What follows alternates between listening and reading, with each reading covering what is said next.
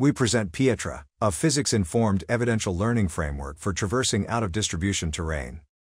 Learning-based traversability models are useful for traversing off-road terrain, but they often struggle with out-of-distribution or OOD inputs at test time. While existing works propose to detect and avoid OOD terrain during planning, always doing so can be too conservative. As can be seen in this video, because the robot has not seen the ramp and bushes before, it decides to go around them, which is very conservative.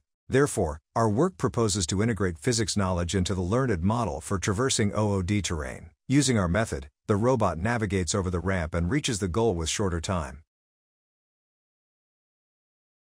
Our approach improves upon the recent work that uses an evidential neural network to quantify uncertainty and identify OOD inputs. Firstly, we explicitly embed a physics prior that is invoked when encountering OOD inputs, therefore eliminating the need to avoid OOD terrain. Secondly, we use a physics-informed loss function to implicitly align the model predictions with the physics-based predictions, which helps to further improve generalization. We benchmark our method with existing methods in simulated rocky terrain. The test environments are more uneven than the training and validation environments, therefore inducing significant distribution shift. From the representative trials, we can see that our method makes it more likely for the robot to reach the goal without violating attitude constraints or getting stuck.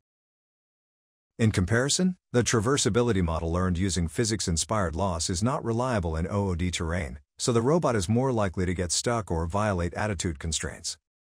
Lastly, avoiding OOD terrain makes the robot behave more conservatively, so the robot is more likely to be stuck in local minima. We also design hardware experiments with two semantic types. The dirt terrain type consists of the concrete floor and the skateboard ramp. The vegetation terrain type consists of the turf and bushes. While navigating to the goal, the robot has to decide whether to go around the ramp and the vegetation or drive over them. The proposed method achieves the best time to goal by appropriately choosing between vegetation and ramp based on the height of the bushes.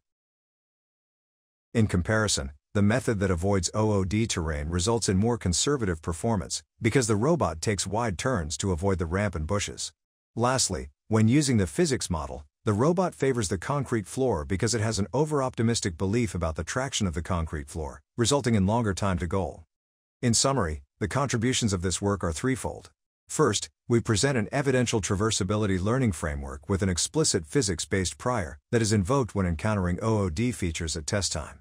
In addition, we propose an uncertainty-aware, physics-informed loss that implicitly injects physics knowledge at training time to further improve OOD generalization. Lastly, through extensive simulation and hardware experiments, we show that our approach improves both the learning accuracy and navigation performance in test environments with significant distribution shift. Please refer to the paper for more information. Thank you.